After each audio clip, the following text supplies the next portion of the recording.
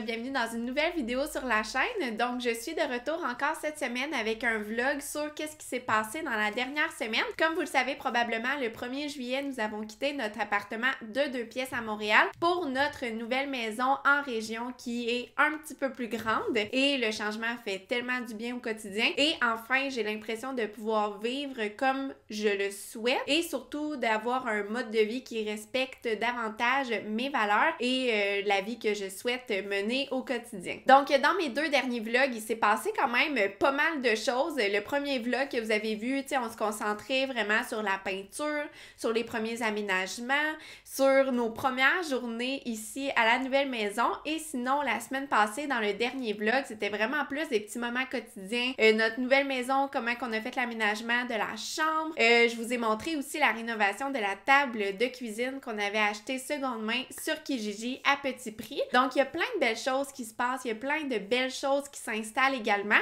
et c'est ce que je vais vous parler encore cette semaine dans ce vlog. Donc, pour commencer, la première thématique, c'est le jardinage et le compostage. Je suis donc heureuse de pouvoir faire mon compost dans ma propre cour avec mes propres ingrédients et ainsi de suite. Donc, euh, en ce moment, je vous dirais que le rythme à lequel on le remplit, c'est d'environ un bac de compost par semaine de matière verte.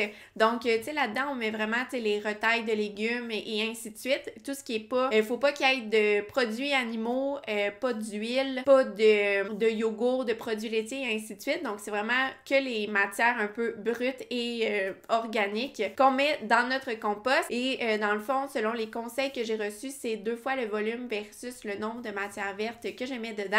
Et ensuite, j'ajoute un petit peu de terre ou de restant des semaines précédentes par-dessus pour bien camoufler le tout, ce qui permet d'éviter d'avoir des mouches et euh, des mauvaises odeurs également. Sinon, parlons de jardinage, je suis vraiment contente parce que dans le premier vlog, vous avez vu, on avait eu notre première courgette qui était donc délicieuse. Et sinon, euh, depuis cette semaine, on a deux autres belles courgettes qu'on a pu cueillir.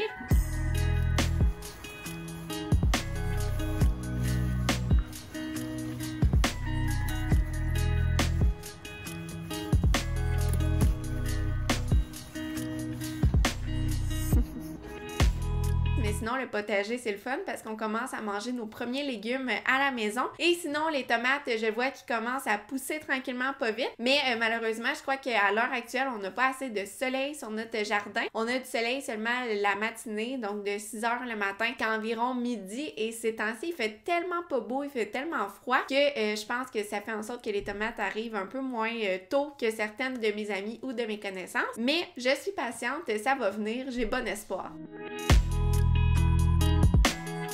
Sinon aussi un autre ajout qu'on a fait dans notre jardin dernièrement, c'est qu'on a ajouté euh, un petit plant de lavande. Puis dans le fond, c'est tout simplement parce qu'on aime beaucoup ça. Euh, ça sent super bon, c'est magnifique également. Donc on a ajouté de la lavande dans notre jardin. Puis qu'est-ce que j'ai remarqué en fait, c'est que ça attire énormément les insectes pollinisateurs. Donc ça, ça donne vraiment un coup de main, je pense, aux courgettes parce qu'en tout cas la fleur elle s'ouvre le matin. Donc il faut qu'il y ait des insectes rapidement si on veut avoir des courgettes. Mais j'ai l'impression que ça fait vraiment bien le travail parce que étant donné que c'est des belles fleurs, puis je pense que les abeilles tout de suite aiment beaucoup ces fleurs. En tout cas, j'ai vraiment l'impression qu'il y en a souvent dans le plan de la.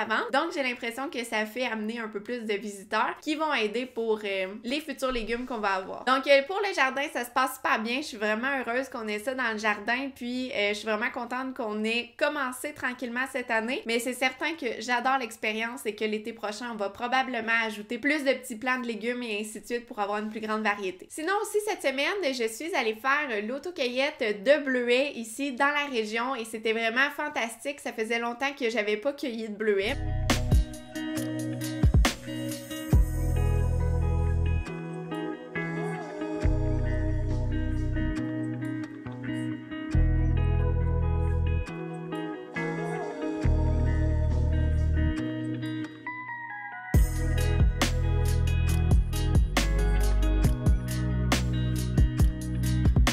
Ils étaient gros, ils étaient beaux, ils étaient bons, ils étaient sucrés. Donc ça, c'était une petite activité que j'ai faite pendant la semaine avec un membre de ma famille et c'était super agréable. fort probablement que je vais y retourner prochainement avec mon conjoint. Sinon aussi cette semaine, dimanche, on est allé au marché Godefroy qui est quand même assez proche d'ici. Puis dans le fond, c'est vraiment un très beau marché avec des produits très très frais, des producteurs locaux. D'ailleurs, j'en ai parlé sur ma page Instagram et Facebook parce que je suis tout simplement tombée en amour avec cette activité-là. Puis dans le fond, c'est fou là, mais les concombres étaient vraiment, vraiment, vraiment pas chers. dans le fond, au marché, on a acheté 6 gros concombres pour seulement 2 Donc, dans le fond, ça revenait moins cher d'en acheter 6, probablement parce que les producteurs en ont beaucoup. Puis, dans le fond, on en a profité pour faire une gazpacho, donc une soupe froide de concombres. dans le fond, la recette, je vais vous la mettre dans la description sous cette vidéo si jamais vous êtes intéressé et que vous voulez la refaire. Donc, j'ai fait une gazpacho, puis je trouvais ça tellement fantastique de cuisiner des produits locaux, des produits frais, des produits de saison.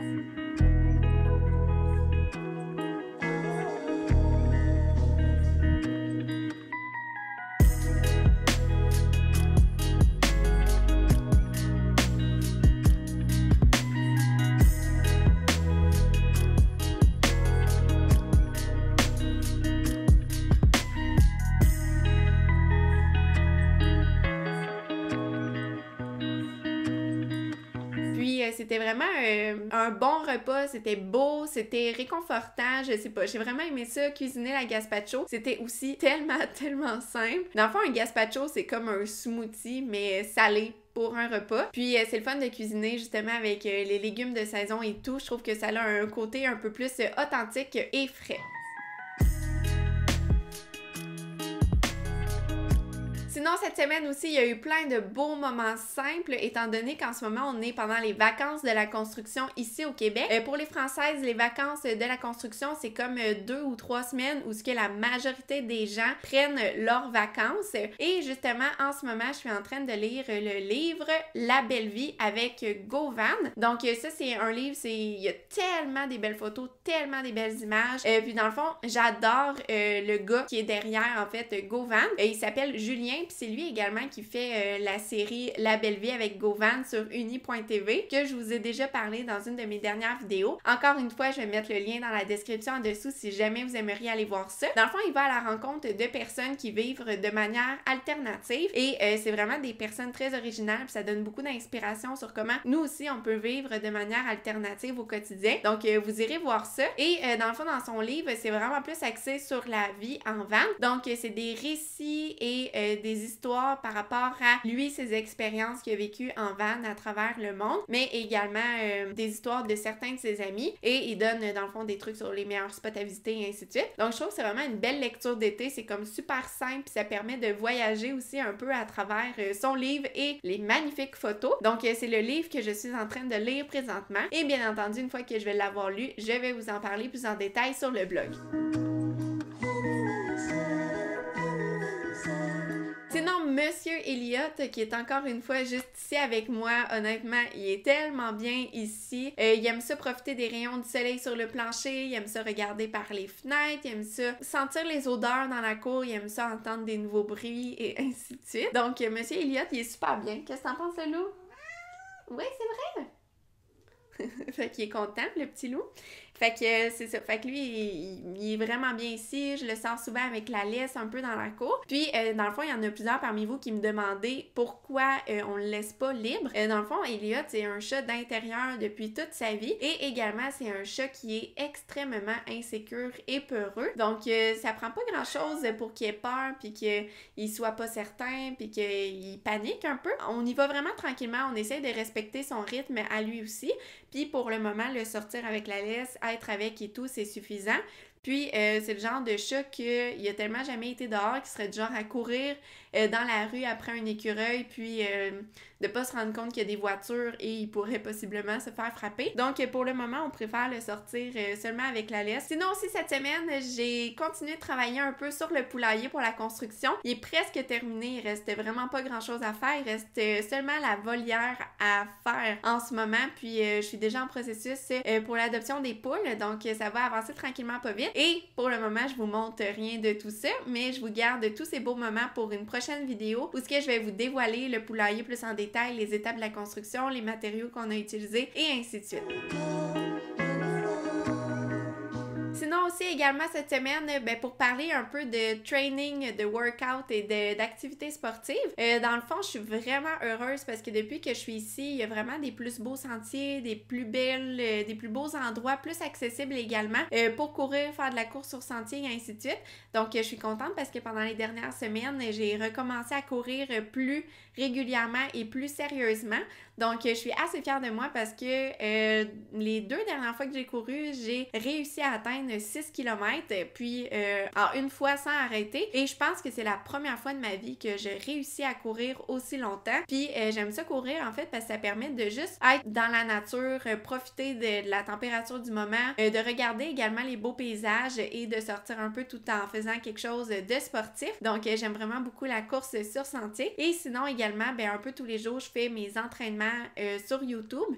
Je fais tout le temps mes entraînements à la maison avec euh, vraiment très peu de matériel. Euh, habituellement, c'est seulement un tapis de yoga et des poids légers. Et ça suffit en fait pour faire mes entraînements. Puis c'est ce que je fais depuis bientôt trois années. Donc, comme quoi, on n'a pas besoin des fois de grand choses ou on n'a pas besoin de payer des fortunes pour s'entraîner. Des fois, juste retourner à l'essentiel et retourner à la base suffisent pour adopter un mode de vie actif. Donc, je suis vraiment contente parce que depuis le mois de janvier, avec mon atelier Le pouvoir des listes des résolutions pour attirer le changement, j'ai fait en fait un calendrier qui permet de suivre ses progrès, suivre les activités qu'on fait et ainsi de suite. Puis j'aime vraiment ça parce que ça permet de garder une trace par rapport à mes objectifs, de garder une trace de ce que j'ai fait et euh, justement ça me permet de rester motivée tout au long du mois à continuer d'atteindre mes objectifs euh, de semaine en semaine. Donc euh, comme à toutes les fois, j'écris tous les jours ou chaque fois que je fais une activité sportive dans mon cahier d'accompagnement qui vient avec l'atelier et ça me permet de savoir qu'est-ce que j'ai fait durant les derniers jours ou de savoir si justement ça fait peut-être deux jours que j'ai rien et que c'est le moment d'aller faire un petit entraînement, que ce soit dans le salon ou à l'extérieur.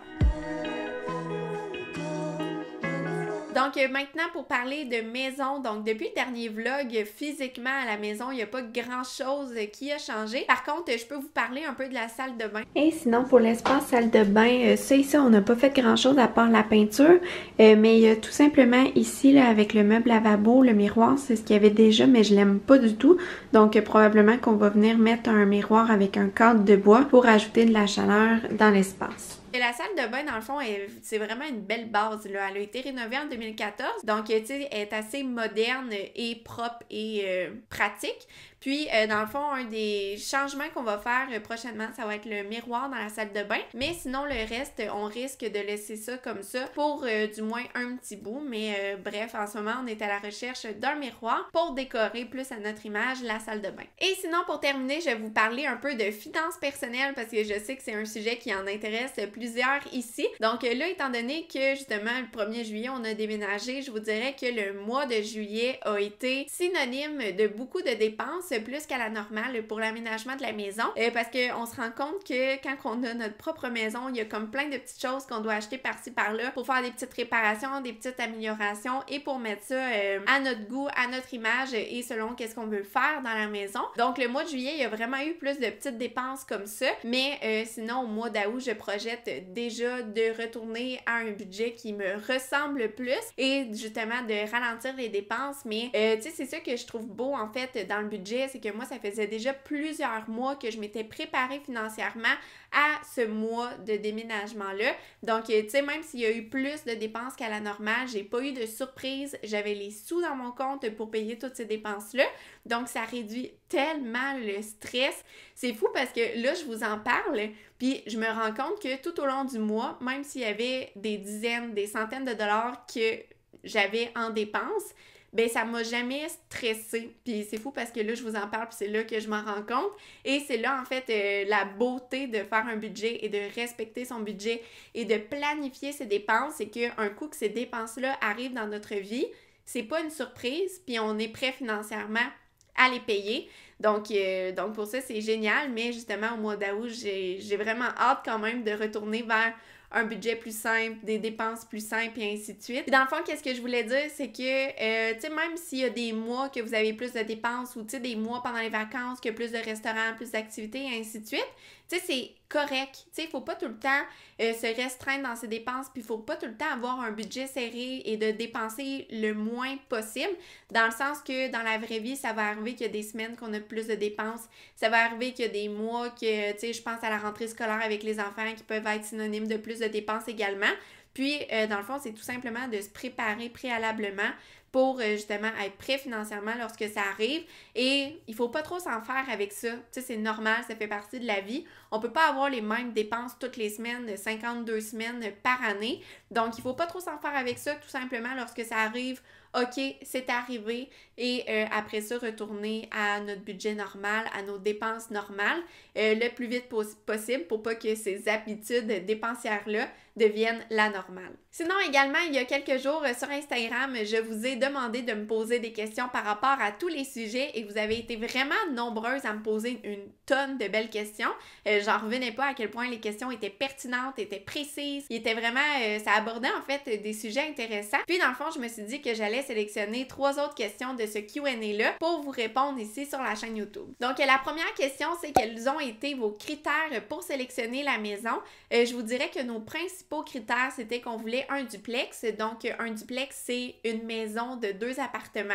Donc, euh, en fait, là, au début, notre seul critère, je pense, c'était ça et que ça respecte euh, notre budget. Que par la suite, on s'est rendu compte qu'on voulait que ce soit un, bloc, en fait, qui était en bon état, qui avait une bonne structure. Ouais, ça, c'était pas mal un autre critère qui était important pour nous. Et ensuite, on voulait aussi que l'immeuble soit rentable. Donc, il y avait beaucoup d'immeubles que, euh, dans le fond, le coût de l'immeuble avait monté en flèche à cause de la surchauffe immobilière en ce moment, mais le coût des loyers n'avait pas suivi comme euh, la courbe de ça. Donc, il y avait beaucoup de duplex que, que dans le fond, si on l'achetait, on allait perdre quelques centaines de dollars tous les mois parce que, en fait, euh, c'était des immeubles qui n'étaient pas rentables et que les coûts des loyers n'avaient pas suivi la courbe de l'immobilier. Mais sinon, ensuite de ça également, tu sais, moi, je voulais qu'il y ait un terrain pour pouvoir faire mon potager et pouvoir euh, mettre les poules. Puis sinon, euh, tu sais, je voulais que ce soit dans un quartier tranquille, un quartier propre, un quartier de confiance. Mais euh, je vous dirais que par la suite, les critères, il n'y en avait pas vraiment plus que ça. c'est sûr qu'on voulait qu'il y ait au moins deux chambres à coucher,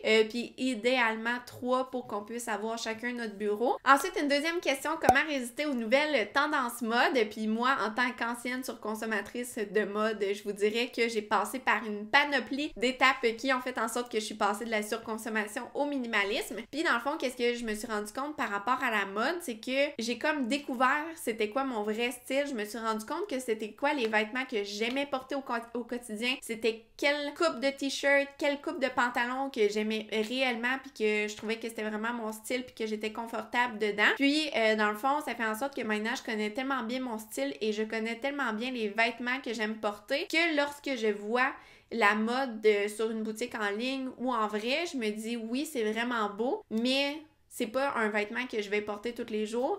Donc, lorsque c'est pas un vêtement que je vais porter tous les jours, euh, habituellement, je le choisis pas parce que maintenant, j'ai appris que lorsque j'achète quelque chose simplement parce qu'il est beau ou simplement parce qu'il est à la mode, ben, qu'il va probablement rester sur les tablettes, qu'il va rester sur un, un cintre et que je le porterai que rarement et que déjà l'année suivante, je vais me tanner. Donc plutôt que de gaspiller mon argent comme ça, ben maintenant je préfère utiliser mon argent pour acheter des vêtements que je vais porter plusieurs années. Donc, comment résister aux nouvelles tendances mode, c'est tout simplement de bien connaître son style puis de se dire que est-ce que ce vêtement-là qui est super à la mode, est-ce que je vais le porter pendant longtemps, est-ce que je vais le porter pour la peine? Puis, euh, souvent, c'est une envie, mais on peut apprécier quelque chose même s'il est en magasin sans le posséder nous-mêmes. Et euh, souvent, il suffit d'attendre deux, trois semaines, un mois et on a déjà plus envie d'avoir ce nouveau vêtement-là. Donc, c'est quelques-uns des trucs pour réduire la tentation par rapport à la mode. Donc, la dernière question, c'est penses-tu que le minimalisme a un rapport avec le zéro déchet et l'amour de la nature? Eh bien, oui, je trouve qu'il y a un lien euh, par rapport à toutes ces modes de vie-là. Euh, puis, je vais parler principalement par rapport à ma propre expérience. Donc, lorsque j'ai commencé mon cheminement vers le minimalisme, j'ai vraiment appris à vivre avec moins d'objets et à apprécier qu'est-ce que j'avais déjà et à tout simplement réduire en fait ma consommation générale d'objets. Puis on dirait quand on fait ce cheminement-là, ce processus-là, qu'on apprend à se poser les bonnes questions avant d'acheter quelque chose et avant de s'encombrer. Et également lorsqu'on fait du désencombrement et qu'on va porter tous ces objets-là à euh, des centres de dons ou qu'on les vend ou qu'on les jette, on se rend compte en fait à quel point on a beaucoup de choses et ça nous fait repenser un peu tout le capitalisme de manière générale, puis tout le système de consommation dans lequel nous vivons. Puis, euh, c'est à partir de ce moment-là qu'on commence à avoir des réflexions par rapport à ces principes et qu'on se dit, hey, ça fait beaucoup d'objets ou ça fait beaucoup de gaspillage et qu'on se rend compte en fait qu'on a besoin de pas grand-chose pour vivre et pas grand-chose pour être heureux. En fait, ça permet d'éveiller une certaine conscience par rapport à l'environnement et euh, par le fait même, ben bien, ça va nous guider un peu vers d'autres principes de vie comme la simplicité volontaire, le zéro déchet et ainsi de suite. Donc, moi, j'ai toujours trouvé que le le minimalisme, la simplicité volontaire et le zéro déchet, c'est vraiment quatre styles de vie qui sont vraiment interreliés. Tu sais, dans le fond, moi, je m'inspire de ces modes de vie-là dans ma vie au quotidien mais euh, dans le fond, je suis imparfaite dans tous ces modes de vie-là plutôt que d'être parfaitement minimaliste. Par exemple, un des principes du frugalisme, ça va être euh, de garder des anciens emballages cadeaux pour les réutiliser et leur donner une deuxième vie. Mais ça, ça peut aussi faire partie du zéro déchet de réutiliser avant de jeter, mais c'est contraire au minimalisme dans le sens qu'on va accumuler des anciens emballages cadeaux chez soi pour les réutiliser dans le futur. Donc, c'est pas des choses qu'on utilise tous les jours et ça s'accumule chez soi. Donc, c'est pour ça que je dis que moi, je suis vraiment imparfaite par rapport à ces modes de vie-là. Mais c'est vraiment, je trouve, qu'est-ce qui est le plus viable à long terme. C'est vraiment qu'est-ce qui me convient le mieux dans mon mode de vie au quotidien. Mais oui, je trouve que ces modes de vie-là sont tous interreliés et le minimalisme nous permet d'être un peu plus consciencieux par rapport à l'environnement. Donc voilà, c'était tout pour le vlog de cette semaine. J'espère que vous avez trouvé ça intéressant et que vous avez peut-être appris quelque chose en même temps. Pour ma part, en tout cas, je prends beaucoup de plaisir à filmer un peu mes moments du quotidien et de les partager avec vous ici sur la chaîne. Et euh, j'ai vraiment hâte en fait de vous parler davantage de tous les prochains projets qui sont à venir et que je vais parler ici, que ce soit sur YouTube, Instagram, sur mon blog ou encore sur la page Facebook. Donc voilà, je vous souhaite de passer une très belle semaine tout le monde et sinon on se retrouve la semaine prochaine dans une nouvelle vidéo. Bye!